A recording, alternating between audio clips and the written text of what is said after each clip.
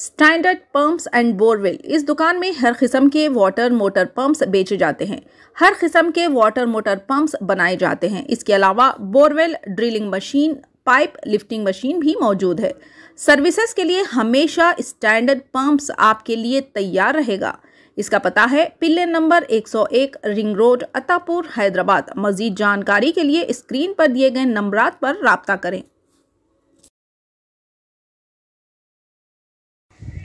नाजरीन आदाब, S news channel में आप सभी का इस्तकबाल है। तुर्क एयरलाइन के पायलट की दौरान परवाज मौत, अगर मुसाफिर तैयारे का पायलट वफात पा जाए तो क्या होता है?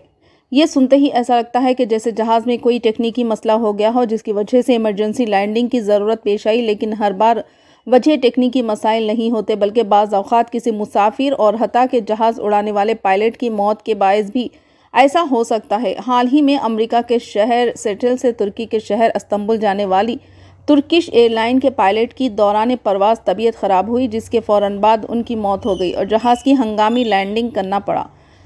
तुर्किश एयरलाइन के तर्जुमान के मुताबिक जहाज़ को चलाने वाले उनसाठ बरस के कैप्टन अलचेन पहलवन दौरान परवास बेहोश हो गए, जिसके बाद सेकंड पायलट ने जहाज़ का कंट्रोल संभाल लिया। तर्जुमान ने बताया कि सूरत हाल के बायस airbus A three five zero की न्यूयॉर्क में हंगामी लैंडिंग हुई। इस वाक़े की तफसलत के मुताबिक flight T K two zero four ने मंगल की शाम सेटल से उड़ान भरी कनाडा के इलाके तनावत के करीब पायलट की तबीयत ख़राब हुई, जिस पर उनके साथ पायलट ने जहाज़ का कंट्रोल संभालते हुए परवास का रुख जॉन एफ़ कैनेडी एयरपोर्ट की जानब मोड़ दिया।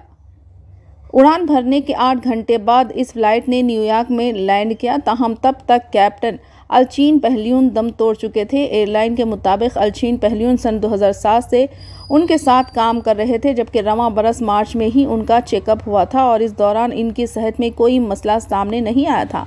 पायलट की मौत की वजह अभी तक नहीं पाई गई। ये वाक़ पहला नहीं, जब दौरान प्रवास किसी पायलट की मौत हुई हो, सन 2015 में अमरीकी एयरलाइन के एक सत्तावन साल पायलट फिन से भी बोस्टन जाने वाली प्रवास के दौरान वफात पा गए थे।